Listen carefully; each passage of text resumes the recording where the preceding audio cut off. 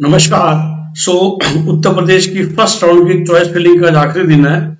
तो मुझे लगा कि अब समय आ गया है आपको ये बताने का कि अगला स्टेप क्या होगा। और देखिए मैंने पहले भी कहा था कुछ चीज़ें ऐसी हैं जो हम सबको बताते हैं कुछ चीज़ें ऐसी हैं जो हमारे पेड क्लाइंट्स के लिए रहती हैं। तो उत्तर प्रदेश में तीस प्राइवेट कॉलेजेस थे चूँकि आज आखिरी दिन है मैं आपको झलक दिखा देता हूँ। इस तरीके से हम एक उत्तर प्रदेश की प्रायोरिटी लिस्ट बनाते हैं। जिसमें आप देखिए पूरे पूरे तीस कॉलेज थे, अगर आप मेरे पीछे देख पा रहे हैं तो। और इन तीस कॉलेज को हमने छह सेक्टर हम हमेशा कहते हैं कि ये कॉलेज परमिटेड या रिकॉग्नाइज है, क्या इसमें क्लिनिकल पीजी चल रहा है इसका शहर कौन सा है, किस साल में स्टार्ट हुआ था और टोटल पैकेज इसके अलावा डेफिनेटली जो हमारे पास खुद की खबर आती है पेशेंट इनफ्लो पेशेंट फैकल्टी की क्वालिटी फैकल्टी की सीरियसनेस जी हाँ और उत्तर प्रदेश में चूँकि दिल्ली के बगल में पड़ता तकरीबन हर कॉलेज में हमारे पुराने स्टूडेंट्स हैं, हमारे जानकार हैं, उसके हिसाब से हम एक प्रायोरिटी लिस्ट बनाते हैं। आप समझ लीजिए, तकरीबन एक एक कॉलेज में कॉल करके। तो इस प्रायोरिटी के हिसाब से सबका रूल अलग होता है। हमारे पास ऐसे भी क्लाइंट हैं, जिन्होंने नंबर वन पे हिंद बाराबंकी रखा है बिकॉज़ ऑफ़ फ़ीस उनको इससे मतलब नहीं है कि हिंद सीतापुर, उनको इससे मतलब नहीं है कि श्री राम मूर्ति की क्वालिटी क्या है। They wanted to get the cheaper option और द चीपेस्ट ऑप्शन बट अब इसके अलावा और हमारे पास क्या ऑप्शन है? अब नेक्स्ट स्टेप पे आते हैं मुझसे हमारे क्लाइंट्स कहते हैं। मैंने कहा था कि मैं इकतीस तारीख को तसली से वीडियो बनाऊँगा। सो देखिए, अभी तक आप लोगों ने क्या करा? आपने सबसे पहले ऑनलाइन एक दो हज़ार रुपये का रजिस्ट्रेशन कराया। आपको यू यूपी नीट का नंबर मिल गया था। उसके हिसाब से फिर आपने एक सरकारी कॉलेज सिर्फ़ चाहिए था तो तीस हज़ार रुपये प्राइवेट कॉलेज एमबीबीएस चाहिए था तो दो लाख रुपए और प्राइवेट बीडीएस चाहिए था, एक लाख रुपए का डीडी बनाया, अपने सारे कागज़ लिए और इनमें से एक जगह पर आप जाके अपना नोडल सेंटर में जाके डॉक्यूमेंट वेरीफाई प्लस ड्राफ्ट जमा करा के आ गए। करेक्ट अब हमने चॉइस फिलिंग कर दी है सीट अलॉटमेंट होगी हमारा अगला काम क्या है कि हमें सीट मिले और मिलने के बाद हम क्या करें? देखिए, हम ये बार बार कहते हैं कि उत्तर प्रदेश में दो सिनेरियो होने वाले हैं। चाहे गवर्नमेंट चाहे प्राइवेट ठीक है, और फिर धीरे धीरे उस पर आएँगे। अगर आपको सीट मिली और आपने नहीं ली, अभी उसकी बात करते हैं, ठीक है ना? सीट मिली और आपने नहीं ली, चाहे वो आपकी सरकारी कॉलेज की सीट थी, चाहे वो प्राइवेट चाहे वो बीडीएस तो आपके ये तीस हज़ार, दो लाख और एक लाख रुपए जब्त हो गए और राउंड टू में आप दोबारा से दो लाख रुपए देके पार्टिसिपेट कर सकते हैं। हमने कई बार कहा कि इसमें आपको एक तरह से पेनलाइज करके निकाला नहीं जाता है। तो आप राउंड टू में दोबारा पैसे देखे दोबारा शामिल हो सकते हैं। क्लियर है? ये तो हो गया उनके लिए, जिनको सीट मिलेगी और वो नहीं लेंगे। अब बात करते हैं सीट मिली और आप ले रहे हो। फिर दो बातें हैं सीट सरकारी मिली या प्राइवेट मिली, ठीक है ना? तो उस पर चलेंगे स्टेप बाय स्टेप पहले चलो, फिर आपको मैं दिखाया तो काउंसलिंग प्रक्रिया कि इसमें आपका क्या होगा? ठीक है ना जी? तो आप देखिए। काउंसलिंग प्रक्रिया सिक्योरिटी था क्योंकि इसमें कॉलेज अलग अलग आ जाते हैं। मैं आपको वो दिखाने वाला हूँ।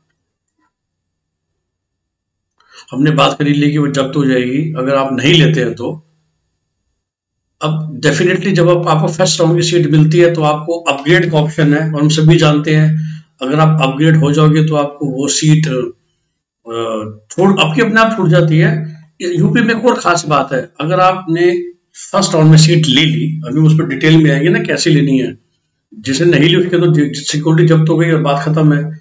आपने सीट नहीं ली, ले ली और आपने अपग्रेड के लिए ऑप्शन दिया और अपग्रेड में आपकी सीट अपग्रेड नहीं हुई, फिर भी जो आपने फ़र्स्ट राउंड में सीट लेने की प्रोसेस की थी, वो आपको दोबारा करनी पड़ेगी। वरना आपकी सीट कैंसिल होके आप मॉपअप राउंड में चले जाते हो। और मॉपअप राउंड में इन्होंने क्लियरली बोल दिया कि मॉपअप राउंड में वही बंदा पार्टिसिपेट स्टूडेंट कर सकते हैं, जिसको पहले या दूसरे राउंड में सीट आवंटित नहीं हुई। ठीक है ना?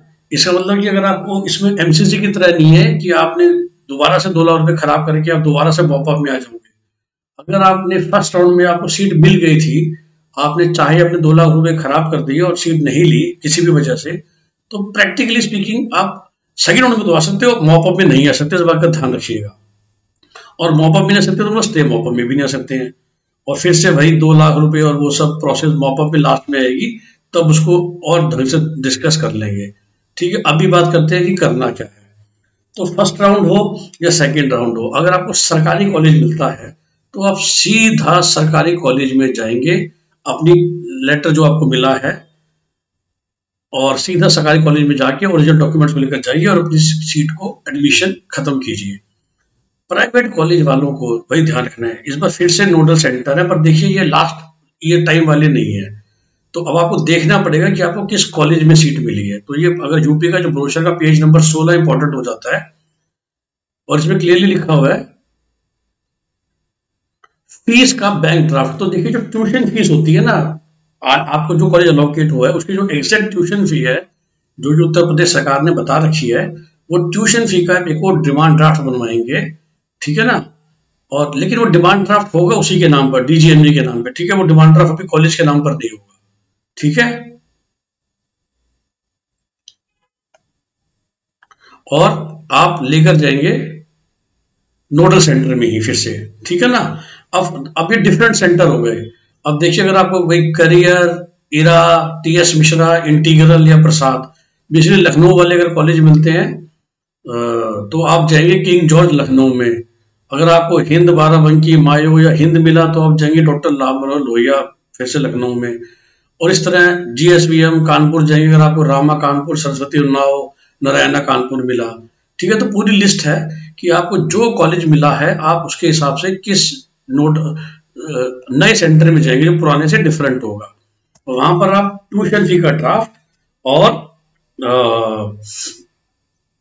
क्या कहते हैं उसको ओरिजिनल डॉक्यूमेंट्स लेकर यहाँ जमा करा के आएँगे ठीक है ना? और ड्राफ्ट जैसा कि हमने कहा कि वो फिर से डीजीएमडी के नाम पर ही बनता है, इसलिए तरह से आप इनको पैसे दे रहे हैं और ये अपने आप पैसे आगे पहुँचा देते हैं।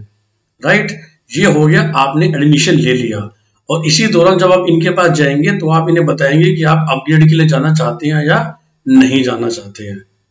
राइट अब आ जाते हैं जी, जो ऊपर वाला पॉइंट था इसमें कुछ खास नहीं है। अब फिर से ऊपर आते हैं कि अगर आपने, आप फ़र्स्ट राउंड में सीट ले ली, अब आप कब कब उस सीट को छोड़ सकते हो और आपकी क्या क्या पेनल्टी है।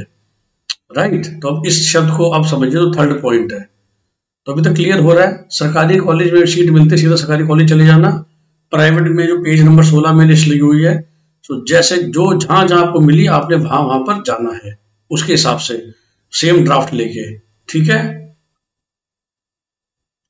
अब देखिए, सबसे पहली बात यही होती है कि जस्ट आपने जो दो लाख रुपए दिए हैं और आपने कोई भी सीट अगर आपको नहीं मिली तो अब आप उसी नोडल सेंटर में जहाँ पर आपने जमा फ़ीस कराई थी, वहाँ पर जाके अपने पैसे वापस ले आइए।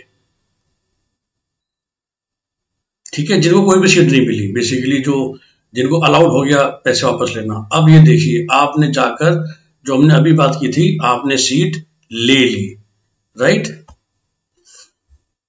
अब देखिए, अब ये ये ये कहते हैं कि कोई दिक्कत नहीं है हमें। तो राउंड वन में आपने सीट ले ली। सिमिलरली आपको किसी भी और कॉलेज में सीट मिल जाती है। राइट वो कहते हैं, कोई बात नहीं, आप आइए। और ये राउंड वन के बाद की बात है। आप राउंड टू की चॉइस फिलिंग से पहले वो डेट एग्ज़ाम्पल भी देते हैं कि अगर चॉइस फिलिंग यूपी ने अनाउंस किया कि पंद्रह से स्टार्ट हो रही है, पंद्रह एग्ज़ाम्पल के लिए बोला उन्होंने तो आप 12 तारीख शाम को चार बजे तक मतलब दो दिन कट के 14 और 13 कट के 12 तारीख तक अगर आप ताकि त्याग पत्र दे देंगे, उसी नोडल सेंटर में जाकर तो आपको पूरा दो लाख वापस मिल जाएगा। और जो आपने ट्यूशन फ़ी का ड्राफ्ट दिया था ना, उसका दस प्रतिशत कट के आपको वापस मिलेगा। देखिए, तन दस प्रतिशत की कटौती होती है। और धन और सिक्योरिटी में जो थी तीस हज़ार, एक लाख, दो लाख, वो पूरी वापस कर दी जाएगी। ठीक है? ये हो गया।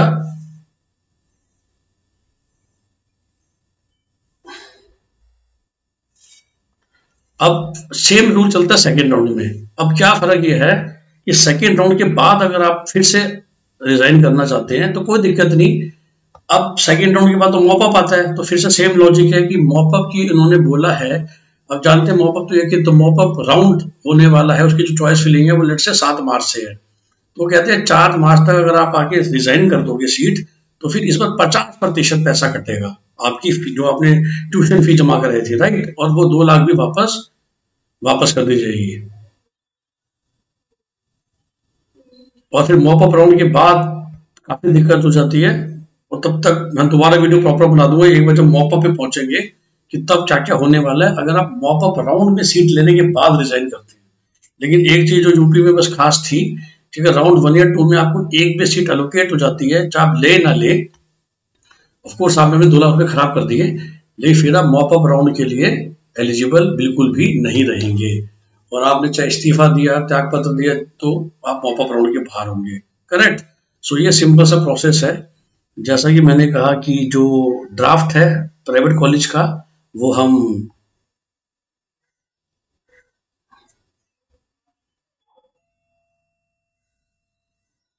आप वहीं पर जाके जमा करेंगे। ठीक है?